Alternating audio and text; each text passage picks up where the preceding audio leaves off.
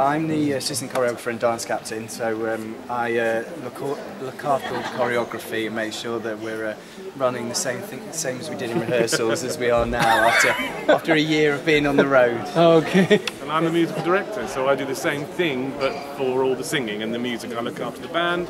We have a band of seven down there, um, and yeah, just make sure that they sing So as how- well as they did at the beginning. How many people are mic'd for the show? Everybody. Every single one. Every single one. Wow, exciting. Yeah, It's really exciting. Tell us about the choreography of the show. Ah, um, uh, we've just having it from a further interview.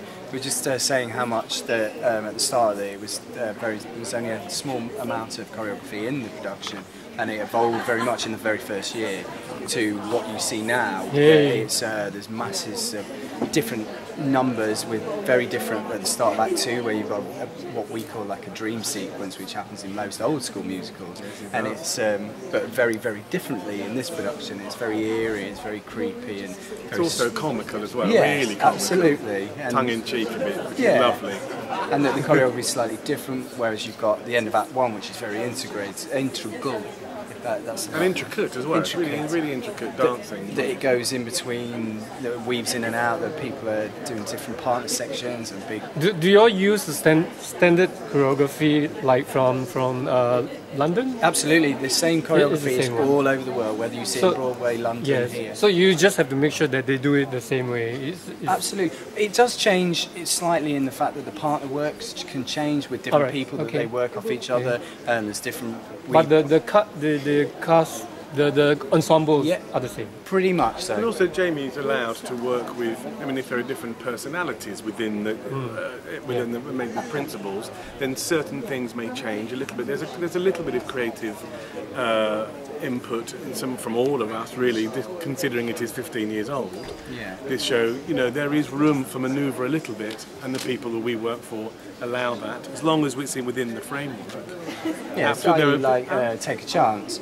Um, it's where you get two different actors, and although it's staging rather than choreography, um, the two actors they work in, in rehearsals and they work something, and that will evolve over the time, especially because we're on the road. So we make sure that it works for them. That so it's slight, is slightly differently. It's a It's not carbon copy every time. Yeah. There's, Yeah. there's room for manoeuvre that, that more so for Jamie really. 'cause obviously the songs always stay the same. You've got to sing "Knowing Me, Knowing You" exactly the same. You can't change we that depending on the actor. I grew up with it. Yeah, absolutely. Me too. Me too. But you know, but, but Jamie's department is very. There is. There is, you're quite lucky that you can Yeah. sometimes just give a little bit of change, which is nice. Keeps it fresh. Are there challenges to um, training the uh, the cast? Absolutely, because we go from um, we go from older um, principals that, and go down to the youngest people that have just come out of college, and often they're doing the same choreography. So uh, someone that's been just come out of college that's ballet trained and they're amazing, their technique's incredible, and then you've got older members of the cast that may not have uh, done as much um, dance training, and Yeah. that, but they it takes longer to get.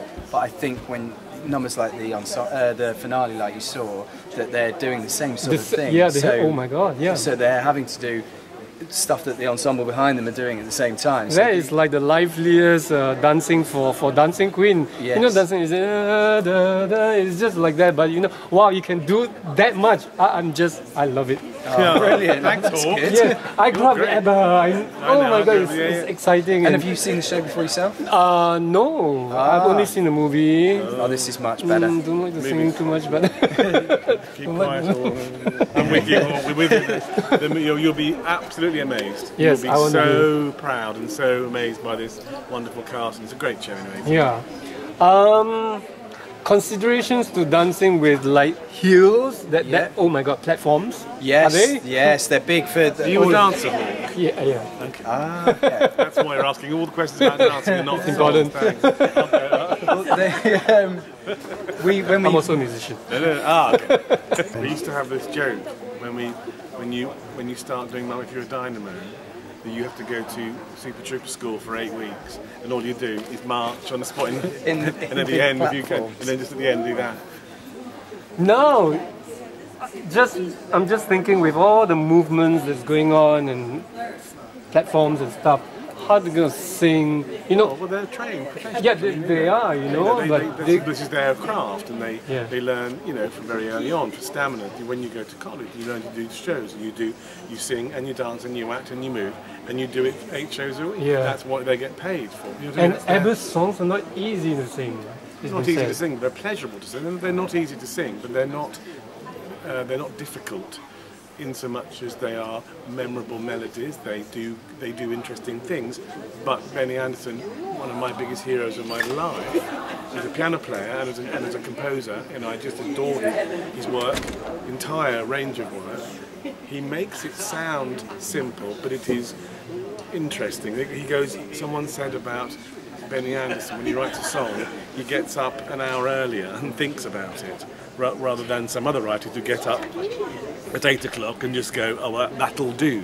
Benny always goes further, but they're memorable. Do you know what I mean? And they're easy to sing because they're memorable, and they're complicated because they don't just do the obvious things. I think a lot of people don't realise how complicated they they're- can yeah, be. very, they're layered. Yeah, yes, and they're not they're not the obvious thing to do, but they're made to sound like they're the most pleasant, most um, restful on the ear.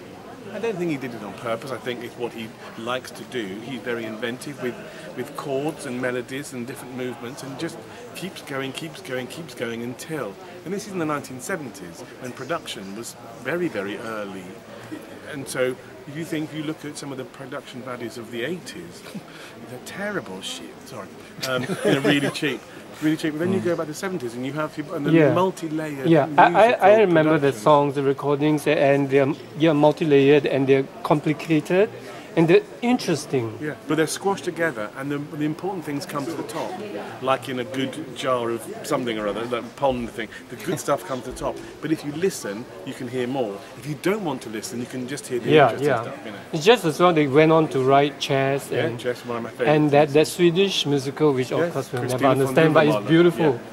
It's, it's Beautiful like an opera. Yeah, but the Bee Gees is an interesting thing. As a musician, I will say that the Bee Gees are those three men who wrote their their productions were great.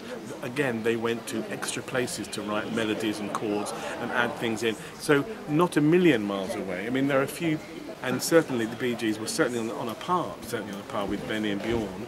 They just got up a little bit earlier and did some more work, you know, and, and, and thought about it and went to interesting places. But when you squash it all together, it still sounds pleasant. It's it's accessible and interesting. It's complicated and accessible, which I think is a brilliant combination.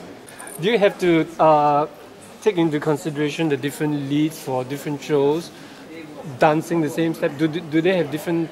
Because I've no, not seen the show, I don't know how much dancing they actually do. Absolutely. I mean, um, they.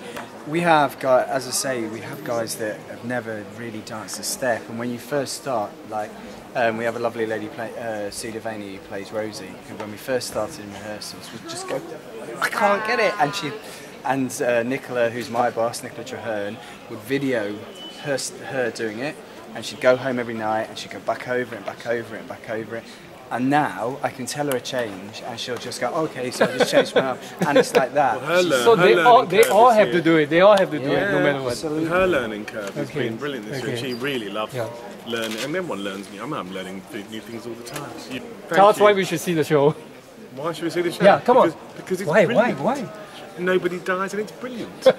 I don't think I I can guarantee that nobody comes and sees this show and comes out without a smile on Well, their face. Well, I always used Yeah, to, yeah. I always used to say, in the old days when the story wasn't so well known, you come to the ABBA, but you go away with so much more. Hmm. Ah, Yes, yes. I just saw the two two numbers. I was smiling. Exactly. You love it, don't you, Hawk? Oh my God, you yes. You're love gonna have a good time. I grew up with it. Thank you very much. No, thank, you. Nice to meet you. Thank you. Lovely Yes. to Nice to meet meet you. Nice to meet you. See you tonight. Yes. Yeah, See enjoy. I'll be there Yes. at the front. With the big stick. Or no stick.